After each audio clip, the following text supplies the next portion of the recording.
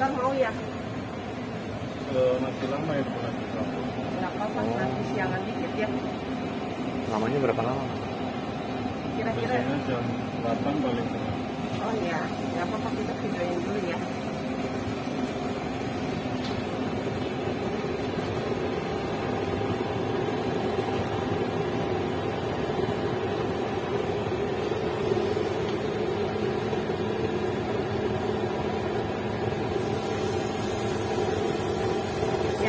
13 belas. Kalau nasi campuran 60